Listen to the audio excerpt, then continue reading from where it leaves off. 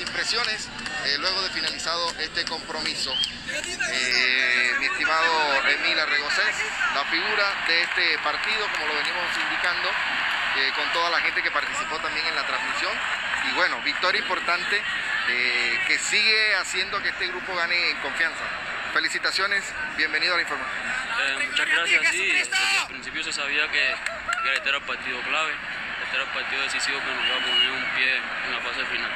¿Cómo estudiaron ustedes a este Santander eh, teniendo en cuenta que ayer eh, le sacó un resultado, le sacó el empate a Valle y pudo haber seguido con la victoria? ¿Qué les dijo? ¿Qué, entre- qué indicaciones entregó el técnico precisamente para este compromiso? Que tuviéramos mucho juego por banda, ya que los laterales de ellos no eran los mejores.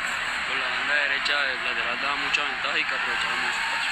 Bueno, sigue la experiencia suya, eh, Emil, marcando una diferencia importante y una salida que le da eh, una posibilidad al equipo siempre. Sí, la confianza que me da el cuerpo técnico también es muy importante, ya que confían en mi experiencia en todos estos años que he venido participando en la selección y en todos los partidos que he venido durante. Estuvo calentando usted el partido un poquito en una jugada por aquí, una falta bastante eh, complicada.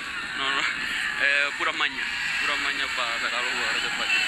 Ese también es una cosa que hay que abonarle, que supo manejar la cartulina amarilla. Sí, sí, ya es la primera que me sacan en todo torneo, así que ahí estamos. Bueno, a descansar, eh, porque el jueves, eh, si bien con estos seis puntos ya Bolívar dio un paso importante a la clasificación, el jueves viene un rival también de peso como lo es eh, Valle.